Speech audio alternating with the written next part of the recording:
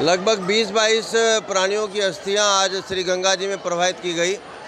ये लोग शदानी दरबार के जत्थे में आए हैं। कुछ लोग परिचित हैं, बाकी परिचित भी नहीं रहते। अस्थि प्रवाह तो पूरे सिंधी हिंदू समाज की गंगा जी में ही होती है। गंगा जी के बिना गति नहीं, हमारे पुरोहित भी मतलब युगों युगों से यहीं पर हैं सिंधु समाज के।